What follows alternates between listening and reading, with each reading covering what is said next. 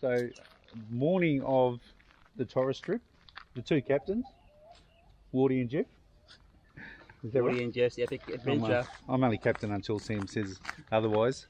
And then on Jeff's boat, he's got his brother and his uh, his nephew. So this is Dave and this is Harley. Harvey. Harvey. Harvey, sorry, I've been calling him Harley for like two days now. It's all good. Harvey, there you go. Learn. Every, um, so Jeff and Dave actually grew up on Thursday Island, so spent a lot of their life as kids on TI. So it's pretty exciting for them to go back. Yeah, how do you feel about that? Oh, from a different um, perspective, boating up there, it'll be great. So where we're at now, we're at Mapoon. So we're driven from Weipa to Mapoon, and we're going to drop the boats in here because it saves us about 100 kilometres of coastline.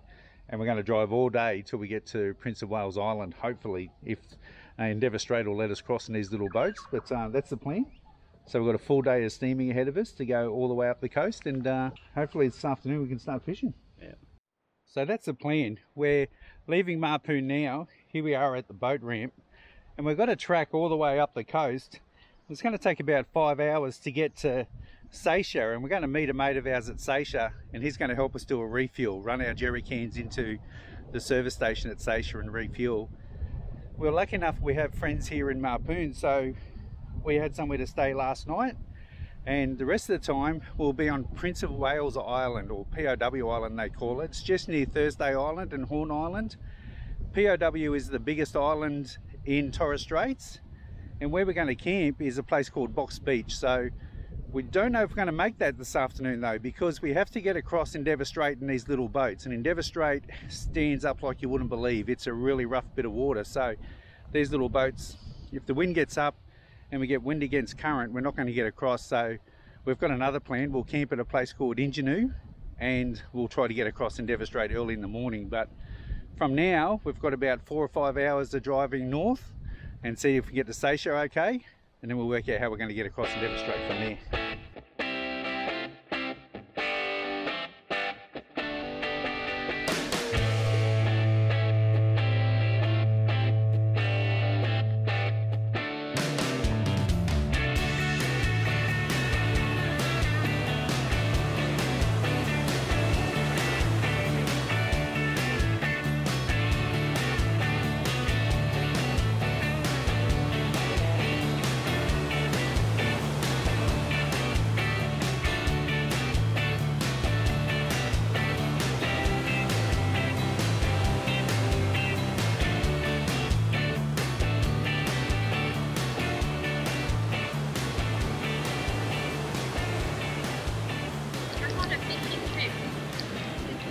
To the Torres Strait. What a fun. What are we doing? Uh, we're getting out of the storm. We're going to beach the boats and wait for the storm to pass. And, uh, we're at a place called Crab Island, or just south of Crab Island. And once we get around the other side of Crab Island, we're going to just protection we've got now. So we think it's choppy now, it's going to get ugly on the other side. So we either uh, camping for the night or wait an hour or two for it to pass. So I'm hoping it'll pass. It's only going to be an hour or two.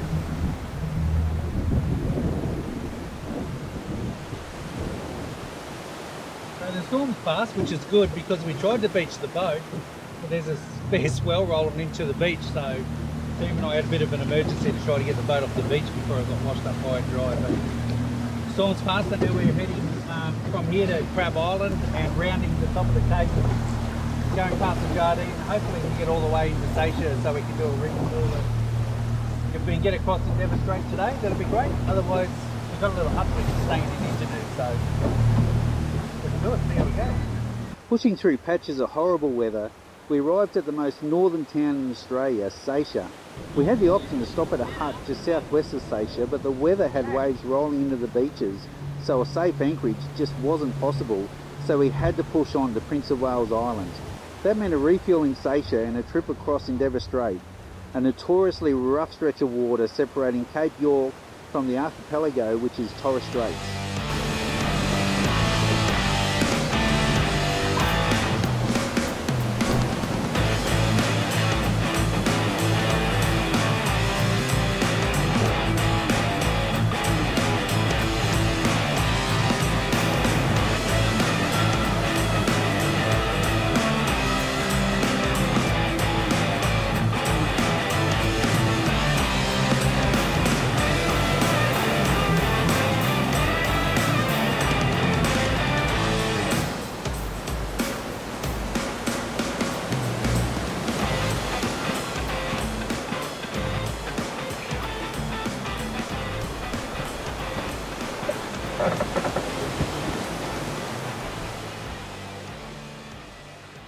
I've got to admit, I didn't think all us guys were going to make it here this afternoon, but uh, the once we got through the islands in Torres Straits, uh, the water's absolutely beautiful. But uh, Endeavour Strait stood up on us a fair bit. We got smash going across there.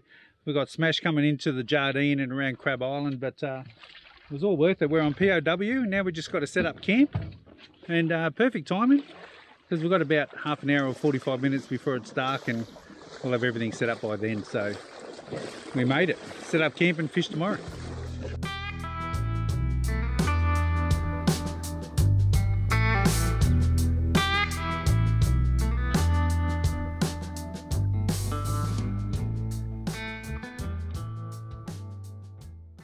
The first day of fishing Torres Straits and we were faced with more mixed weather.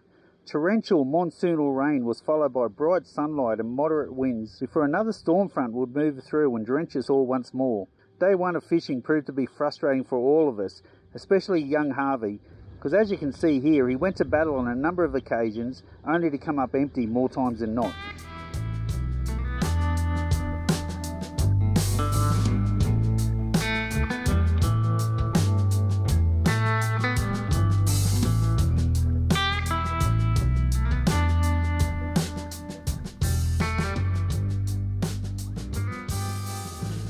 Sam and I just worked a reef for a fair while and we got one small coral trout out of it. So Sam's back at camp. And what I'm doing now is I've got a little soft plastic and I found a, a rock ledge that runs for ages along here.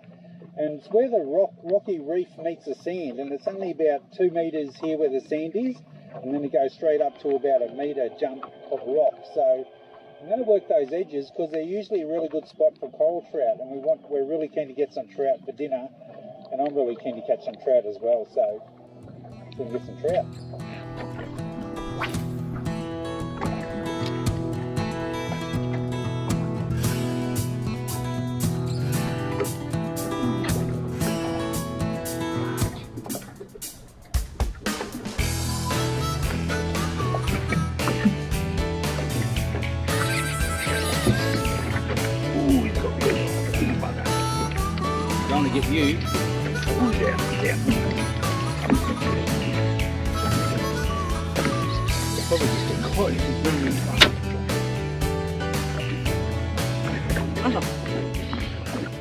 Absolutely no idea what this is, but I've been working the edge of this.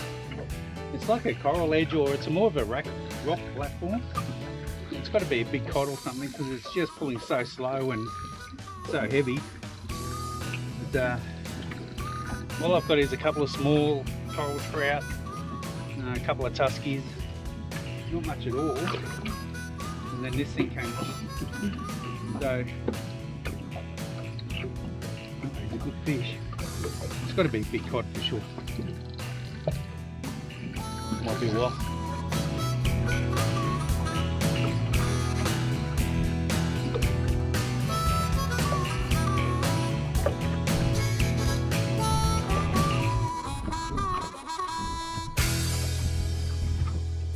I'd love to see what this thing is. It's getting darker and darker, and I, I need. I've got a bit of a run to get back to camp, and uh, I'm gonna have to snap it. I uh, I start making some ground on it, and it just decides to go whoop, whoop, whoop, off again. And we're now in 24 meters of water, and it's just sitting on the bottom. So sorry, mate.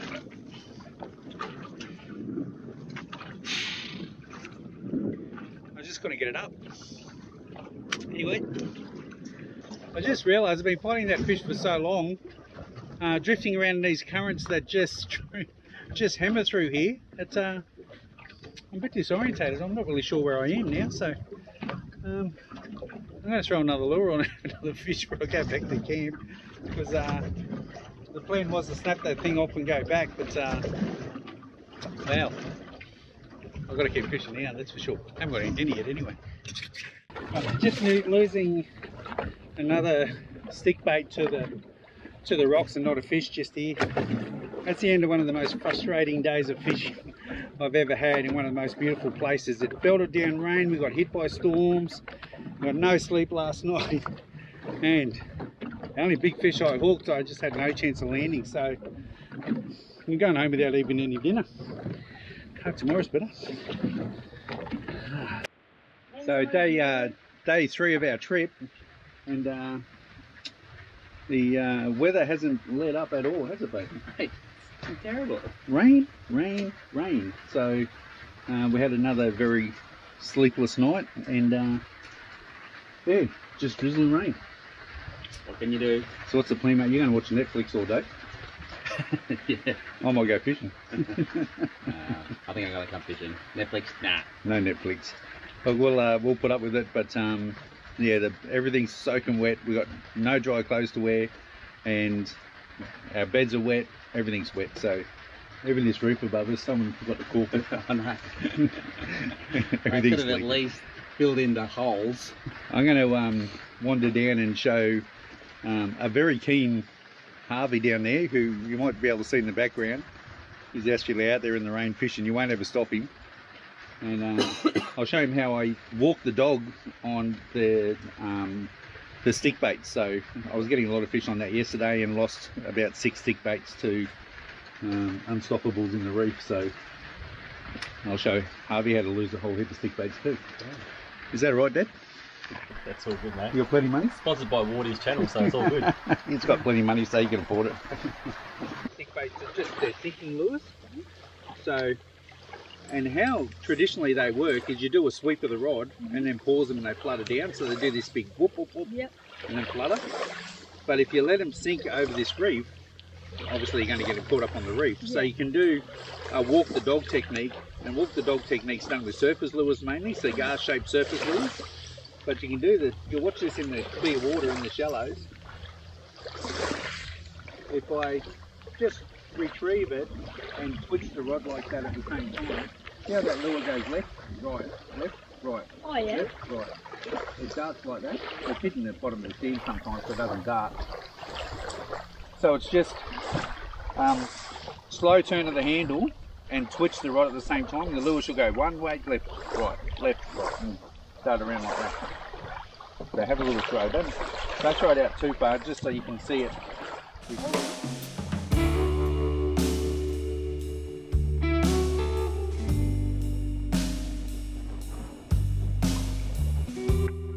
Just on the off chance, I just threw a jig on because we're on the edge of a reef and we haven't been catching many trout. And uh, yeah, the little 40 gram butterfly jig worked a charm. That's the best trout we've got at the trip so far, and uh, I think I'll keep working the jig a bit more, see how we go.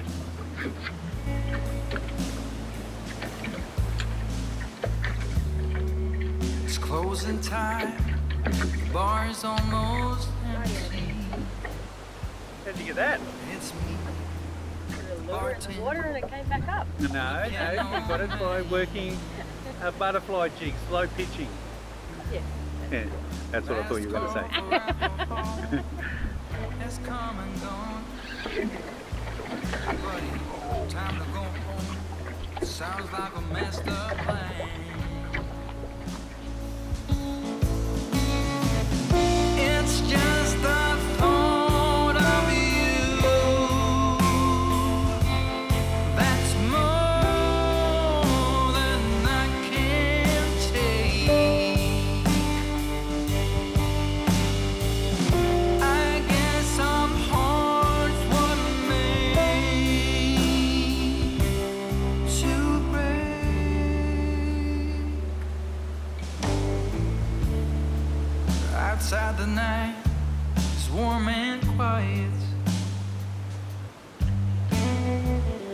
I hear the neon signs and the street lights buzz. The lovers, the one night stands, and the ones who buy it. All put to rest, one more day's fuss.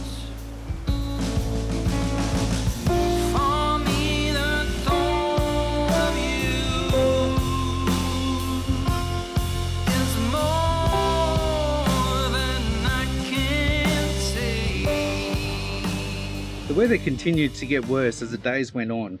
I persisted with the wind and rain for two days of fishing, but by Thursday, Sam and I were just doing the tourist thing, having coffee on Thursday Island, buying souvenirs and just exploring this wonderful region. We did take the boat over to the other side of Muralag Island where we were out of the wind and we discovered some wonderful scenery and some beautiful places to dive underneath the water.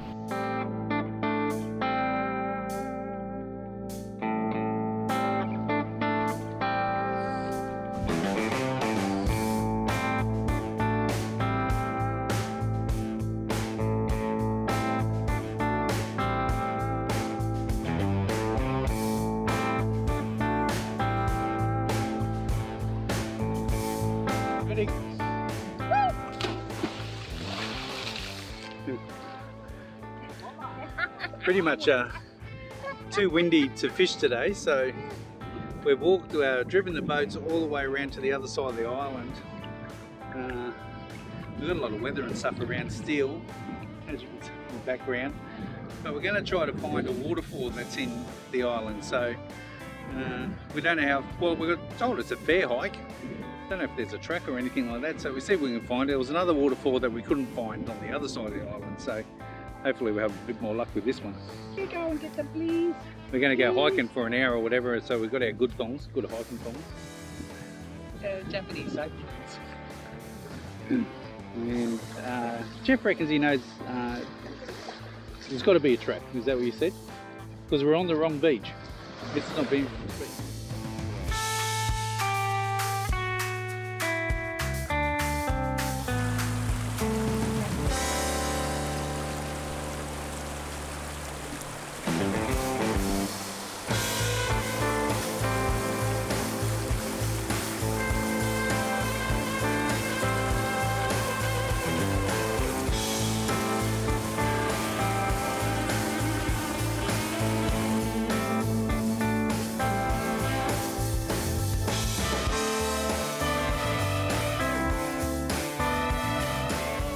Thursday night was about all my little boat could take. The wind and rain was now accompanied by a swell that rolled into the beach at our camp. Jeff, Dave, and Harvey were out at 11 o'clock at night pitching two anchors to their boat to stop it from slamming into mine and washing on shore. I rolled out of my swag at 4.30 to find the anchor rope to have snapped during the night and the CJ was now on the beach being pounded by incoming swells. After another storm period and heavy rain prior to the dawn, we packed up camp and crossed a very angry Endeavour Strait. We refueled again at Seisia and decided to just head home. There was nothing we could do about the weather. All up, Sam and I travelled over 600 kilometres and spent 33 hours motoring and between Jeff's boat and mine we burnt almost 600 litres of fuel. Jeff's boat did more case than my boat did as they went out to some of the wider reefs due to having a bigger, heavier boat. While none of us could ever say the trip was a success, it was still an adventure that we're never ever going to forget.